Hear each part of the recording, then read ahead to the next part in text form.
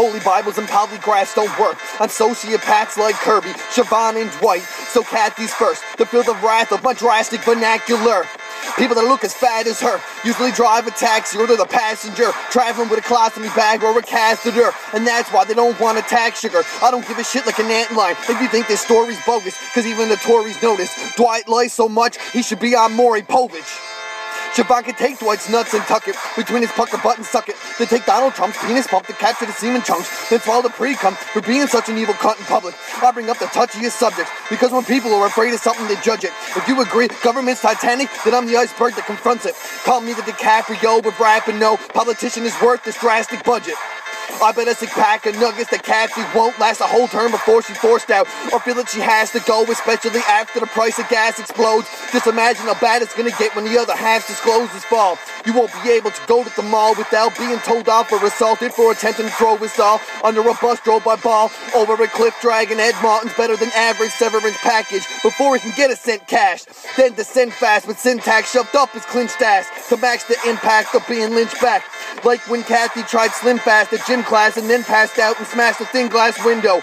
Like when backhoes dig up the cars allegedly used to kidnap Dana Bradley to see if the bins match. New suspects in the evidence batch. Investigator dispatch Siobhan Coady as strong as an ox and sly as a coyote. For selling a steak for frying up bologna. None of your actions reflect the promises made by your disrespectful caucus. How many trips to Washington did you make for Monica Lewinsky classes to get in office? The Fribbles failed early when they appointed Dale Kirby as education minister to play the sinister role of illiteracy because his brain is miniature as a frail turkey. He isn't the only puppet told to rush to the podium just to promote the baloney budget. This phony must show his guts is harmonious with the Falcone bunch. Blow my nuts, you cold-hearted cunt. How many libraries did you help close this month?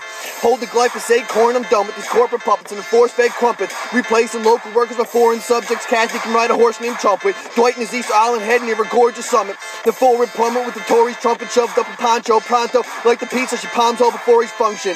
Most of what I say is true, just as much as a god needs your reefer to whiz through. Dwight is Newfoundland's King Hiku, compensates for the size of his tiny dick. But being a giant lion prick too. Catherine is a mad schemer, living a psychopath dream of destroying families by graphing the levy tax lien. A fatal fat beach whale, a fragrant fat fiend who spices her ass clean with a dense axe stream before and after each staff meeting.